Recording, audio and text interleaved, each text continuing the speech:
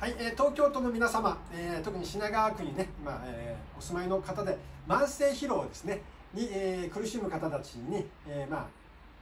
あ、のためにというかね、東京に、えー、出張する愛知県の整体師です。えー、日本でね、まあ、唯一の、えー、整体になります。えー、体がしんどい、えー、頭に、え雲がかかっているような感じがする、脱力する、えー、深い、ね、眠りに行けなくて、え寝てもね、疲れがなかなか取れない、えそんな、え状態の方にですね、えまあ、もっと根本ですね、え筋肉疲労だとか、えという問題よりもですね、もっと深いところのですね、理由を、え解除して、え生態をね、え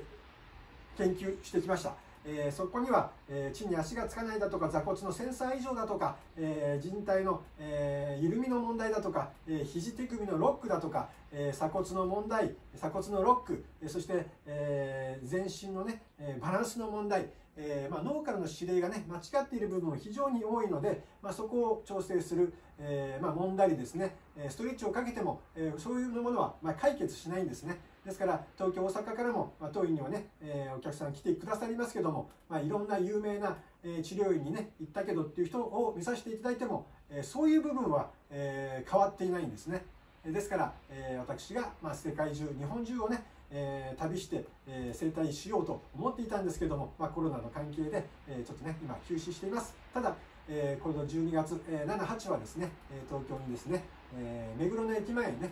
出張して整体をえしたいと思っています。ぜひよろしくお願いいたします。